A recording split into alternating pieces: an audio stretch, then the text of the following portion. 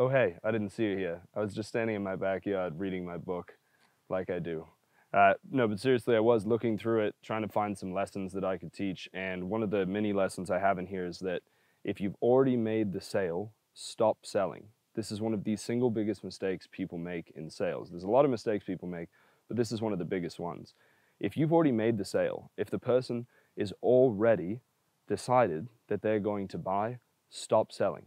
You see this a lot at like a car dealership, right? You're like, yeah, I like this one. And like, well, it's also got this and it's got this radio and it's got this incredible tire package and it's got, and you're like, I right, dude, I'm good. And then you keep going and you're like, you know what?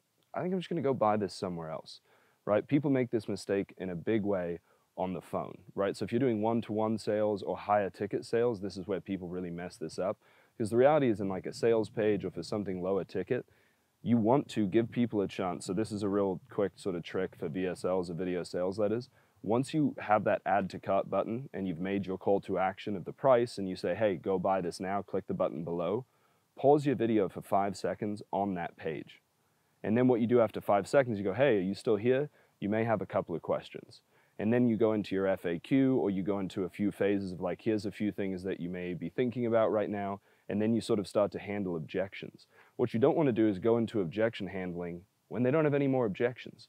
So the single best way to deal with this issue of, of stop selling once you've already made the sale is to shut up.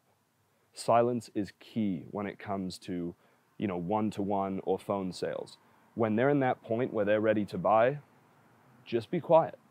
It puts a little bit of pressure. It's not pressure like you're trying to force somebody to buy, it creates a little bit of tension. Tension creates a feeling, and that feeling makes people want to buy.